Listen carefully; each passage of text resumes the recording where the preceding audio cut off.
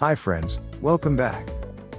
In this video, we will share with you on this topic. Water is a natural acne remedy. As you may already know, there are many acne treatment products available.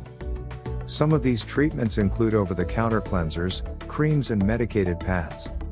Other acne products involve prescribed medications provided by a dermatologist. However, the increasing popularity of natural remedies has also become prevalent in treating many common conditions, and acne is no exception.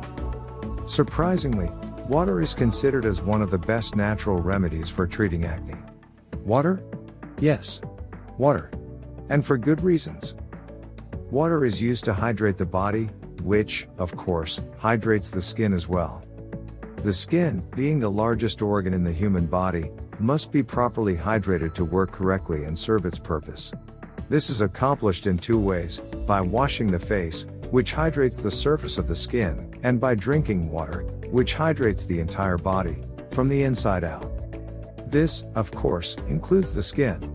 Drinking plenty of water will keep the skin looking and feeling healthy. Healthy skin cells promote a healthy body. Now you've got one more good reason why you should drink lots of water, Doctors tell us we should drink 6 to 8 8 ounce glasses of water a day. Although this might sound like an overused cliche, and 6 to 8 8 ounce glasses of water a day seems like a lot of water to drink in one day, think of what it can do for your body. In addition to improving skin tone and texture, it can stimulate cell growth and will help all your organs work correctly. It also helps filter out unwanted substances that can be harmful to your skin. Water is also a crucial component deep within your skin. It provides the basis for a soft, smooth, and healthy complexion and will help you look more youthful.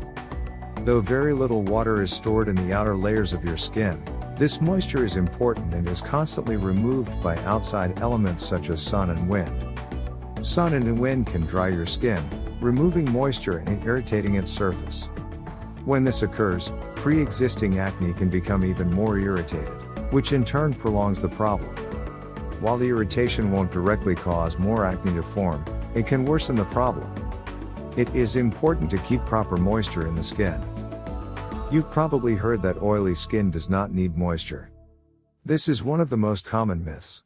Just because skin is oily, it doesn't mean it is moisturized. By cleansing the skin, you are wiping away excess oil, and by moisturizing it, you are helping it remain smooth and increasing your chances for irritation. As the best natural remedy for treating acne, water helps to properly hydrate the skin. This not only promotes and stimulates cell growth, but also helps the other organs of the body work together. If properly hydrated, the skin will not wrinkle or sag as easily, and will appear youthful for a longer period of time.